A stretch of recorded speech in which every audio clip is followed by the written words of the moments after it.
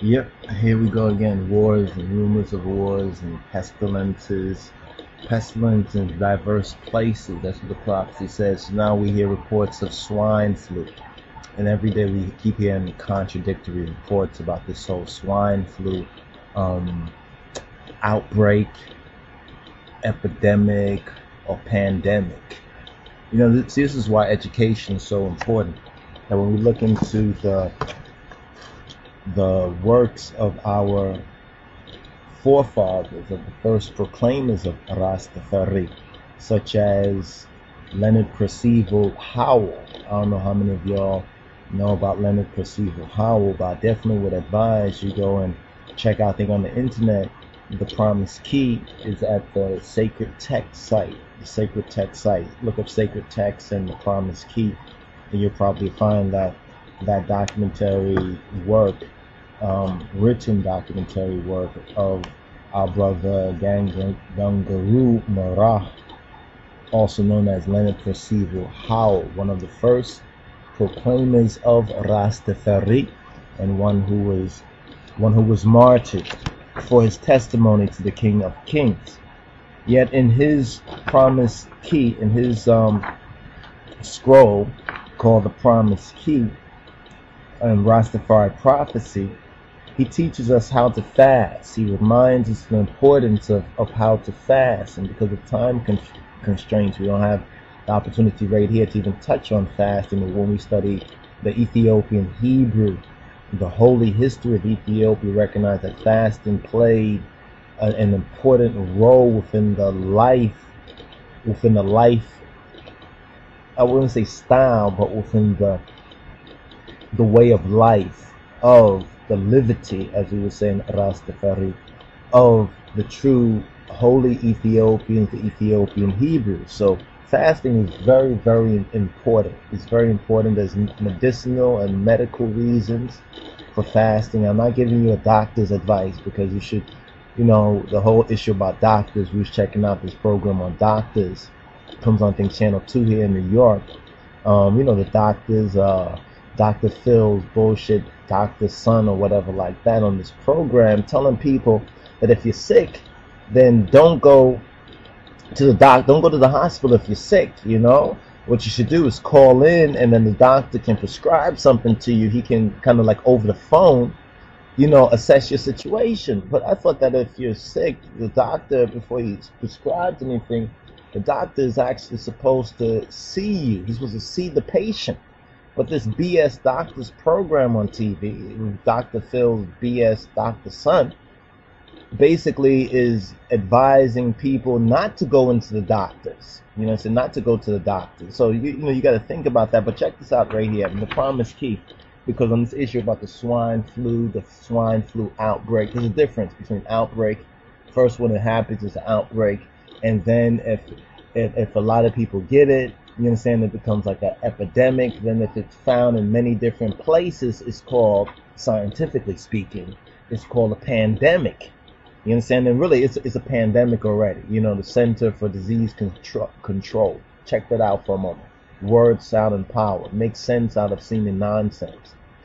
The Center for Disease Control. They're not even called the Center for Disease Eradication, but they're called the Center for Disease Control. Make you go, hmm, make you check out even the Zeitgeist and some of the other programs about population reduction and everything. But this is all part of the prophetical signs that Jesus that Adonai Yehoshua already forewarned us of. So when we see the swine flu pandemic, or really the pestilence that was spoken of in the scriptures, for example, in Luke 21 11, Beliu liu sifra chenefer warerishin beshta yehonal that in one place after another or in diverse places, which scientifically, if a disease uh, occurs in diverse places, is called a pandemic. So the Wengel of Lucas, Luke's Gospel, Good News, chapter 21, verse 11, is speaking of and warning us that in these last days of the Gentile dominion, there will be these signs, wars and rumors of wars, uh, pestilences in diverse places, famine, food shortages, there'll be earthquakes, there'll be an increase in, in lawlessness, all forms of lawlessness, that people will faint out of fear, out of out of terrorism. There'll be disobedience to, to, to parents, to the parent principle of God and Christ. There would be lovers of money. People would be lovers of money. There'll be lovers of pleasure more than lovers of God, lovers of truth.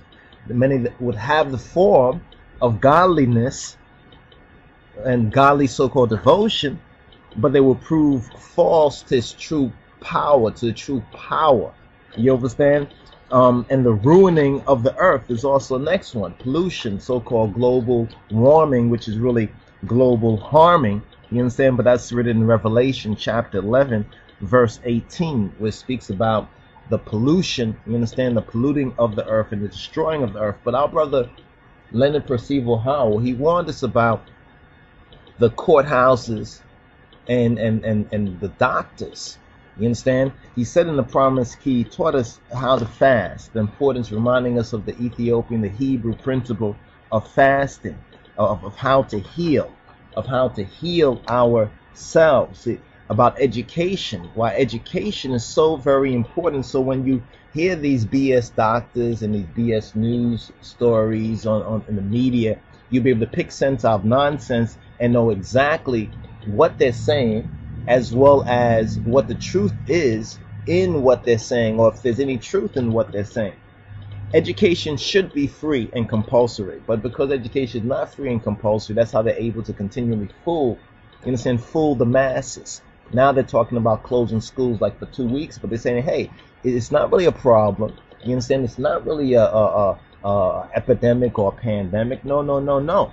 You understand? But check this out. Leonard Percival Howell, he said not to follow. He warned us not to follow courthouses, their false and misinterpretation and using law for wickedness. You understand? Uh, injustice in the form of justice. You understand? and these BS bullshit doctors, you understand, will fake you to death.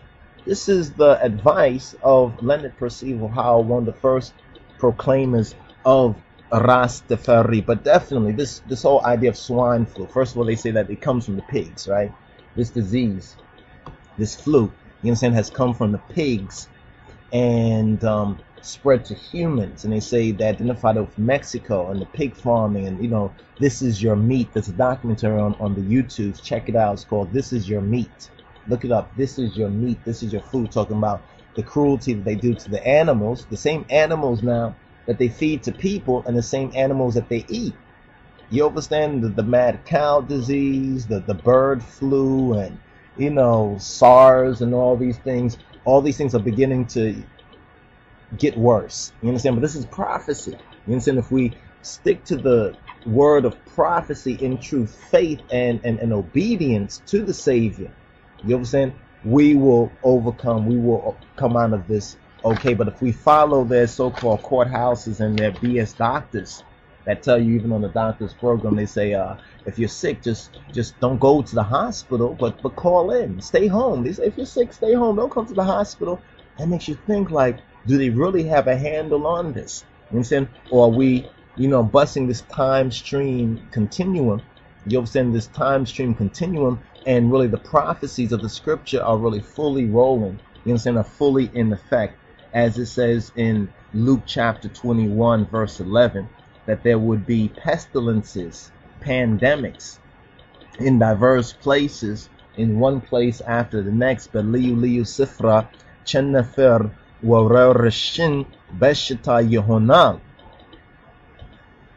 Right after World War One, check this out for a moment. Right after World War One, more people, this is fact, more people died of the Spanish flu right after World War One than had died of any disease epidemic in the history of mankind. Now that was located to one particular area. Even when they talk about the black flu, so from so on, that was basically located to certain areas. It wasn't like a full blown pandemic, but because of this modern the travel and transportation and age and technology, people can move around, you know, all over the world and the interconnectedness and everything. That's where we're gonna get a, a pandemic we talk about the pestilences in the diverse places because that's the scientific definition. You understand? Of pestilence equals pandemic.